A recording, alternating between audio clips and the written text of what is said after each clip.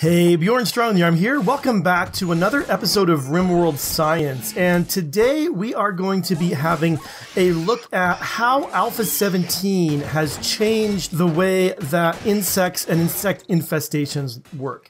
In an earlier video, I did some uh, tests and we found out that where the insects spawn uh, depends a lot on how mountainy, or for you pedants out there, mountainous a certain area is. That is, how deep inside of a mountain it is is, how cold it is, and how much uh, light level it has, but it was not affected by dirt or flooring type or heat. None of those made any difference. Oh, we also discovered that it had to be region of at least at 16 tiles large. And we also looked at a kind of strategy for dealing with infestations, which was to use this information to make a kind of honey trap where you want the insects to spawn when they do arrive, and then burn them out with a Molotov or an incendiary launcher.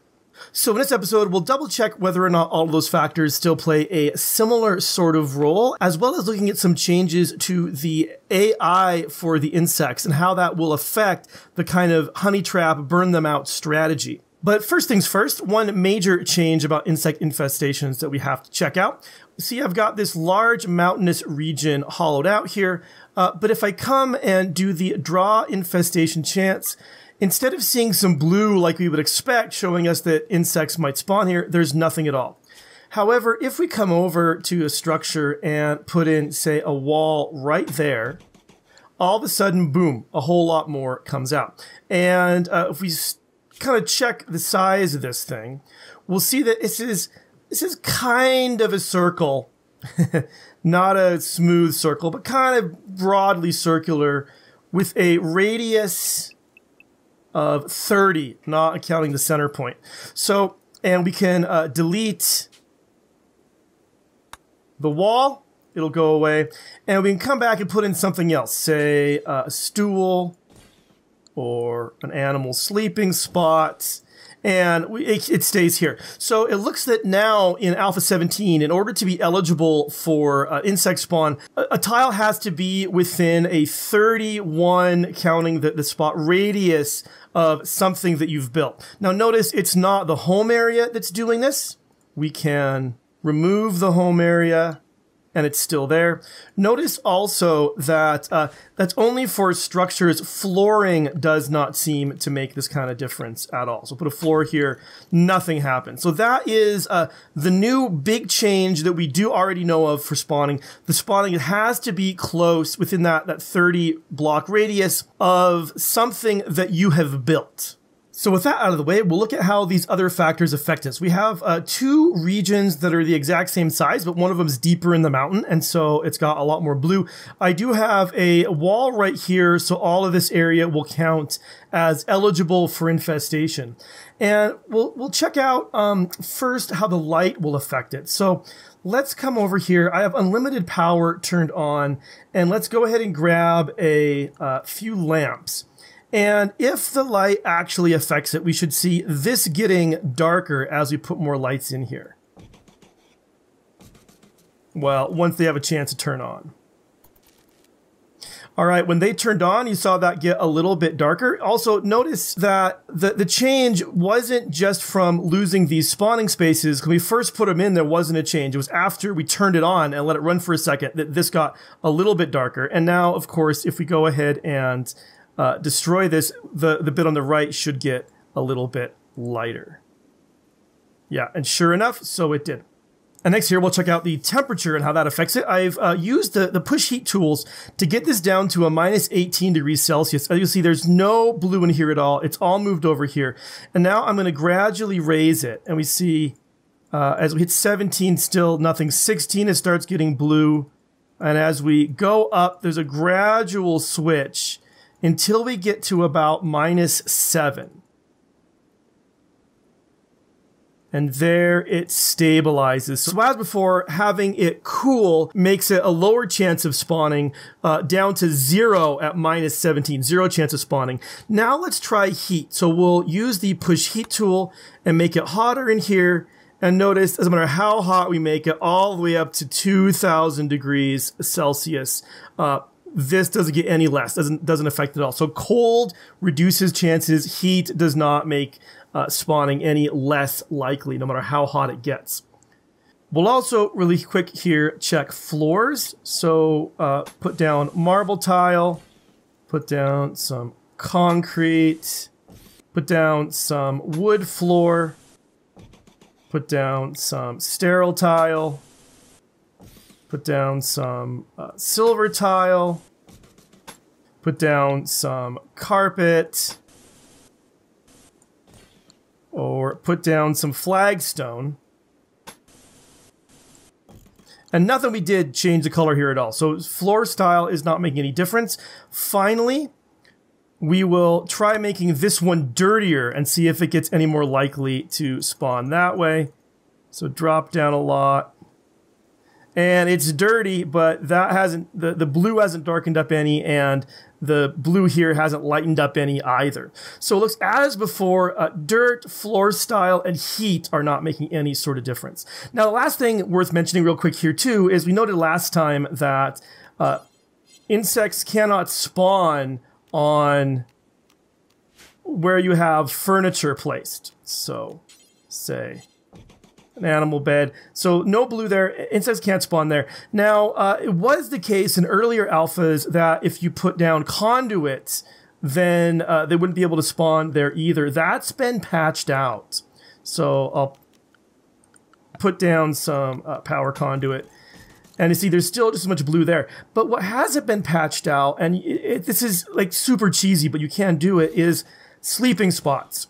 If you line a floor with sleeping spots or with animal sleeping spots, then insects cannot spawn there.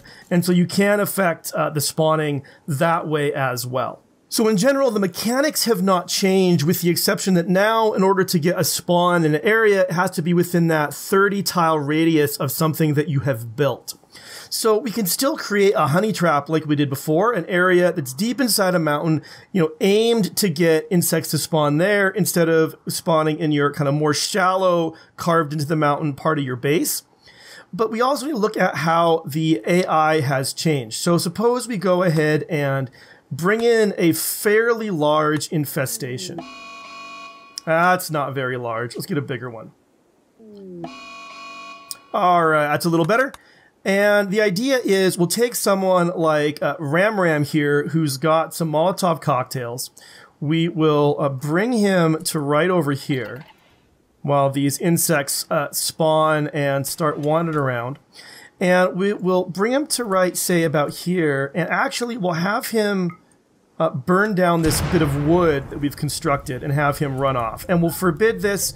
And it's real important when you do this. You want to make sure that uh, you don't have any home area in here, so people aren't trying to run in run in there and um, you know put out the fire. Now, okay, good. The, a spark did come across.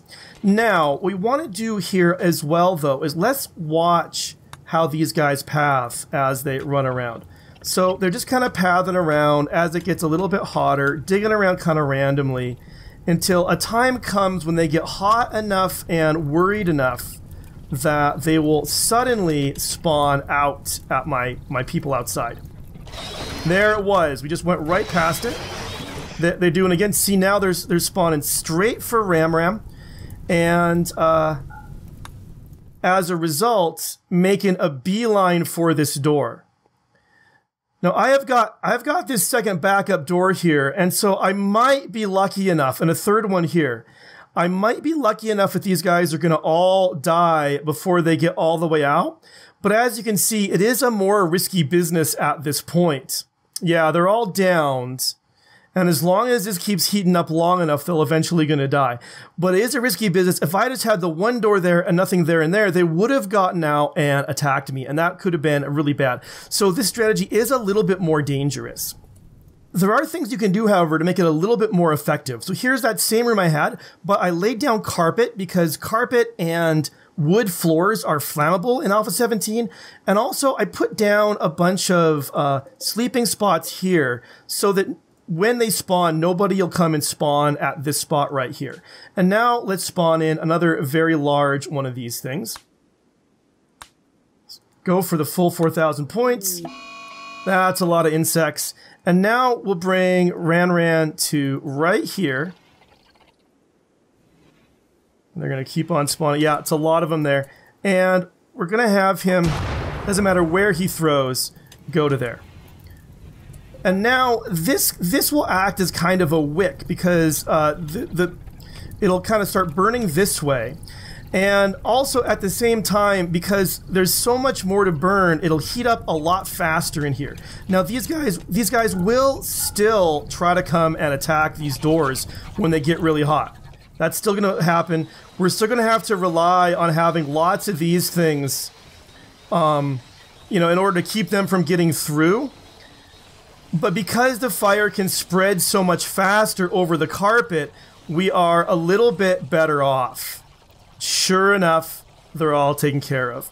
So the same strategy will work as worked before, but there's just things you can do to make it a little bit safer and a little bit more effective with the new kind of bug AI. So that's what we've learned today. By and large, in Alpha 17, the mechanics for insect spawning have not changed, although the uh, AI has changed, and there's the new requirement that they have to be within a 30 block radius of something you have built. But with that in mind, you can use uh, the strategy outlined here or come up with your own strategies to deal with insect infestations and make your colony a safer place to live. But that is all that I have for today. As always, let me know in the comments what you would like to see me do RimWorld Science on next. Thank you so much for watching. I'll see you soon.